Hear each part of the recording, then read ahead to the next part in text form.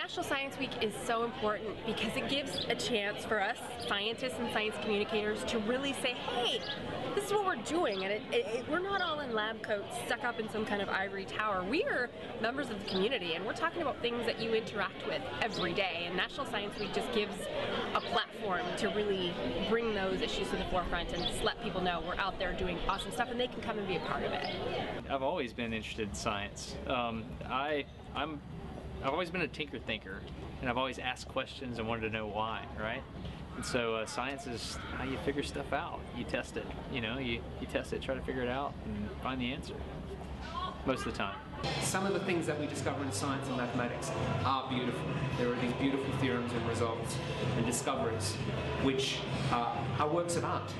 And if, and if the public can have some sort of access to it which doesn't involve going and doing a three-year degree like an access point to actually kind of be able to look at some amazing structures, pictures, diagrams, interesting comedy. You know, it's a way of creating access, which hopefully will turn into people having really wonderful careers. I love being able to try to answer questions, to explore and figure things out that no one else knows, or just to figure it out for myself. Being able to answer questions I find incredibly powerful and I guess I find it, you know, kind of fun to go through and solve what are effectively puzzles. When you solve a problem, there's something going on which is really amazing. Like you're actually uncovering something, you're discovering something. It's like it's like you're you're exploring in the wilderness and you don't know where you are, and then suddenly you come across this amazing waterfall. That's Pythagoras' theorem. I love biology for like a billion reasons.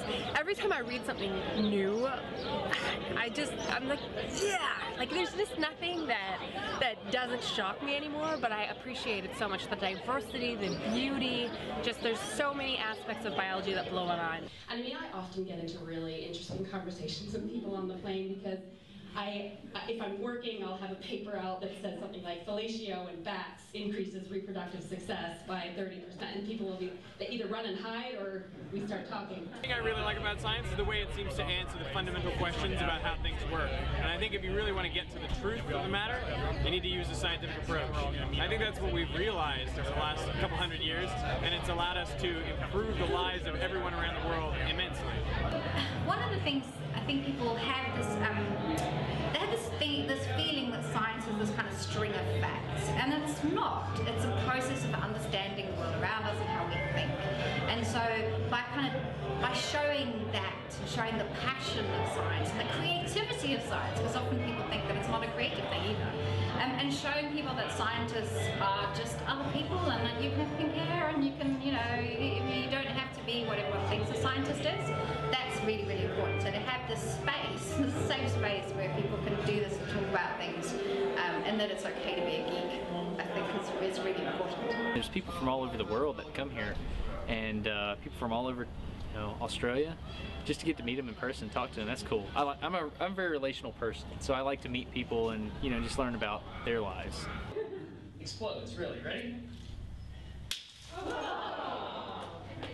A lot of the time, people don't think about science. So it's great to have a week where we sort of raise the level of science in people's consciousness. I think it's phenomenal the level of talent that we've been able to attract to Australia, like the Mythbusters guys, Chris Hadfield, all of these guys.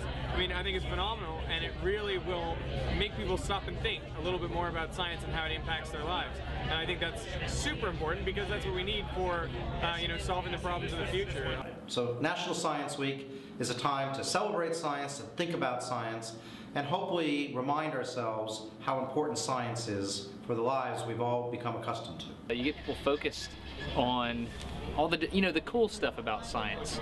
You know, the drive is to get people so interested in the cool stuff that they realize that hey, the research is really really important. And you know, we we got to this cool stuff by doing all the hard the hard work. If that makes any sense.